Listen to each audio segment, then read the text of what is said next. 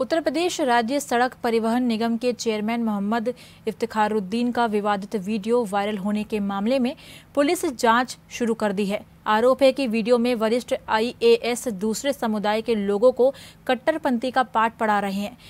Video को उनके आवास में बनाया गया है। मामले को तूल पकड़ता देख कानपुर के पुलिस कमिश्नर असीम अरुण ने मामले की जाँच के आदेश दिए दिए हैं। इसको देखते हुए सामाजिक संगठन भी इन पर सरकार से बर्खास्त और मुकदमा दर्ज करने की मांग कर रहा है। जिसको लेकर भगवान परशुराम महासभा के द्वारा सरकार से अपील की गई है कि उनके खिलाफ सख्त से सख्त कार्रवाई की जाए। उन्होंने कहा कि ये एक संवैधानिक पद पर रहकर इस तरीके से कार्य कर रहे हैं। ये इनको शोभा नहीं देता है, जिसको लेकर वो सरकार से मांग करते हैं कि इनके ऊपर कार्रवाई की जाए।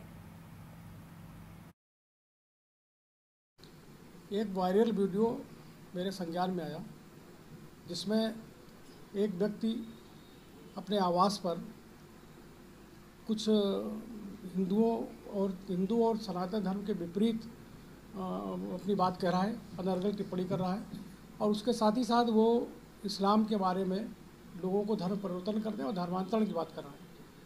उसको गहराई से देखने पर पता चला कि वो ऐसा प्रतीत होता है कि यहाँ पर इफ्तारुद्दीन जो कानपुर में मंडलायुक्त थे और विभिन्न पदों पर, प्रशासनिक पदों पर रह चुके हैं, उद्योग निदेशक भी थे वो। उनके द्वारा ये वीडियो बनाया गया है, उनका वीडियो है वो। और किसी आई अधिकारी को इस तरह से राज, राजकीय आचरण के विपरीत, इस तरह का कार्य करना, ये राजकीय आचरण के विपरीत है। और ऐसे कार्य करने वाले अधिकारी से ये उम्मीद नहीं की जा सकती कि वो निष्पक्ष रूप से कार्य कर सकता है।